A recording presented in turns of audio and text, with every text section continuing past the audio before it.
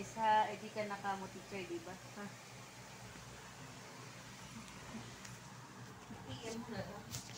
Hello po, magandang gabi po. Dito pa ako sa bahay ni Bayaw. Na pasto. Nagpapaturo po ako mag ano, ah, StreamYard. Ayan. Para makapag simula na po mag ano, mag live.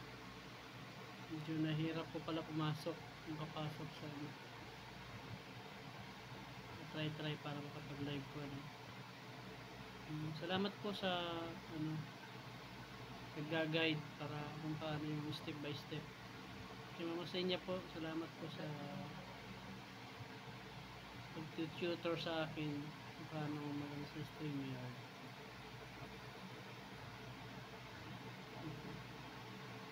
Pero bukas ulit, gabi na.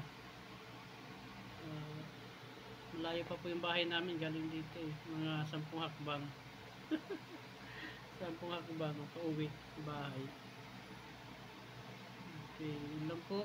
Ah, sana makaano lang bukas makapasok para makapag-live na po ako. At ah, makapag ano na po tayo pintuhan. Ah, mag mag-iipon na po ako ng ano eh, yung watch hour 4,000 kasi medyo malaki. Kailangan na po simulan. Kasi baka bigla mag 1k ang subscriber na na monetize. Uh, support po uli. ah, patuloy niyo po sana supportahan. Ah, yung mga hindi pa po nakasubscribe nanonood ng aking video, subscribe po. ah, like, comment po kayo, and subscribe. At pakishare na rin po ang aking mga videos. Ah, charity vlogging, vlogging po aking ano, main content.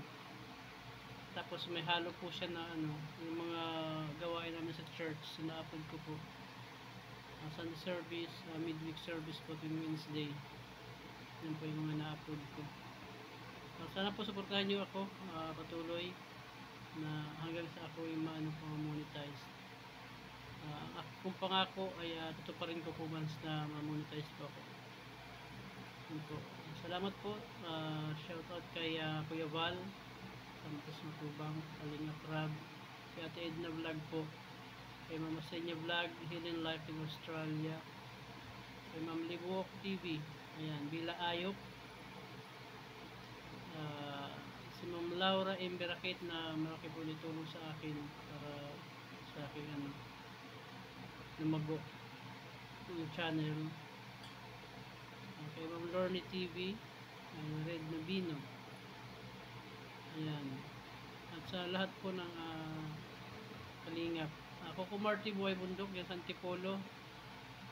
Pero Coco, ingat po kayo dyan sa may Antipolo. Medyo maulan po yata dyan ngayon. Tapos po, ah, ganun din kay Nathan Cute Vlog. Shoutout po sa inyo. Magandang gabi po. Ingat po tayo at ah, stay safe po lagi. Muli po pa, nagpapalala po si Red Sigil 1. Uh, paglalabas ng bahay, huwag po kalimutan yung face mask. Tapos yung face shield po kung, kung kinakailangan po. Lalo na pag pupunta tayo sa mataong lugar. Ano po. Ah, ito po ay ah, paalala lagi natin. ah, tayo po sumunod sa protocol ng gobyerno. Kasi hindi naman po ito makakasama sa atin para po sa kabutihan.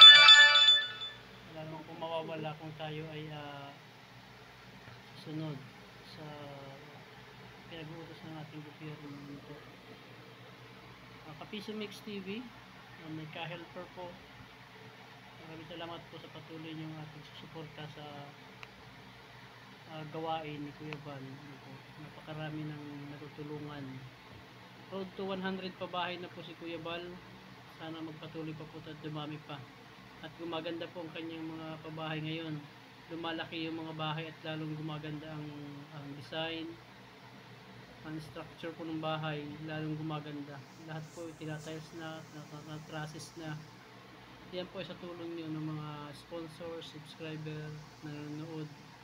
Tapos no skip ads po kasi yun ang mas malaking ano eh yun mas malaking kita sa mga no-skip ads.